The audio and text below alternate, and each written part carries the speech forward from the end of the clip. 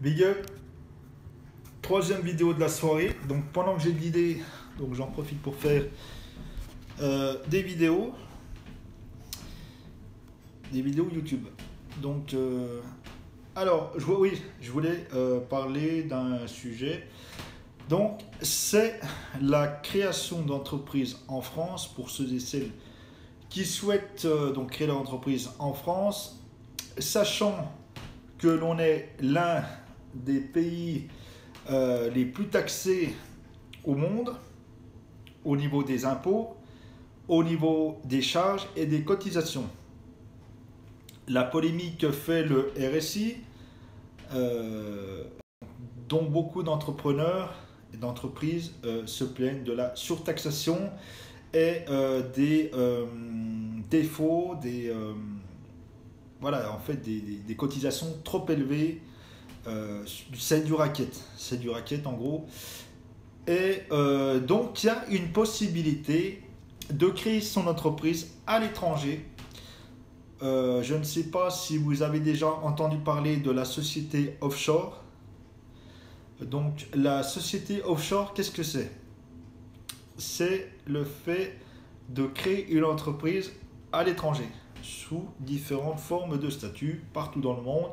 La Chine, l'Amérique, euh, l'Arabie Saoudite, la Suisse, où vous voulez, l'Angleterre, etc. J'ai vu donc euh, des euh, que je ne dise pas de conneries. Par exemple, pour créer une entreprise en Suisse, vous passez par un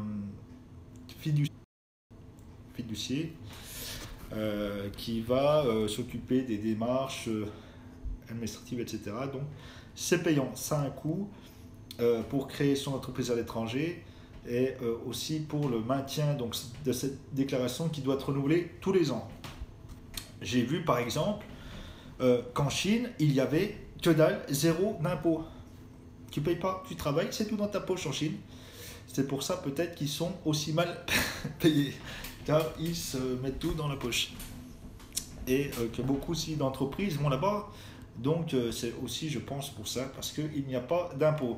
La Suisse, dans euh, certains cantons, aussi a un taux d'imposition très bas. Mais ce qui est avantageux, et en regardant, donc tout à l'heure, j'ai ciblé le canton de Neuchâtel, il y avait 35% en moyenne euh, d'impôts, mais il y a quand même des cotisations euh, à payer. Euh, suivant le type d'activité, voilà, ça peut aller jusqu'à 35% de taux d'imposition. Alors dans ce canton-là,